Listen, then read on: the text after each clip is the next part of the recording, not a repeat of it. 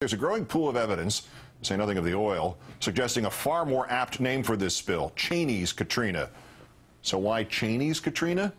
His former company, Halliburton, led by his former protege, CEO David Lesar, did the cementing to seal the Deepwater well, a process families of the dead now claim led to the fatal blowout.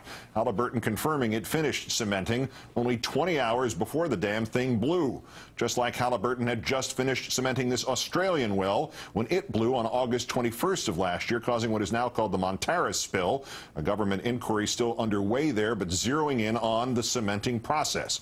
Three years after the American MMS found that 18 out of 39 offshore blowouts since 1996 have been caused by bad cementing, a 20-year Halliburton cementer who admitted screwing up in the Montara's spill testified this March about his Halliburton training. Quote, have you been taught in training or otherwise become aware that problems with cementing are the number one cause of blowouts? His answer, no, I wasn't aware of that. Almost immediately after taking office, Vice President Cheney began meeting with more than 100 oil executives, compiling a wish list of things they wanted.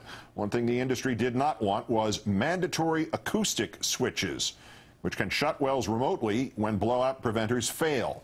The administration knew preventers fail because the MMS found hundreds of incidents in which they did but it reversed a Clinton era decision to require the quote essential acoustic backups, calling them too costly, and those faulty blowout preventers a fail-safe.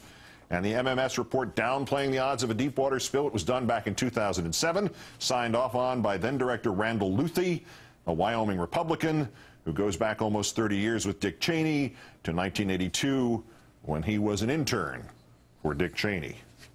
This is Cheney's Katrina. And I think Cheney's rancid legacy of corrupt officials throughout this agency has, has made the agency incapable of acting properly, incapable of being independent. This is Cheney's Katrina.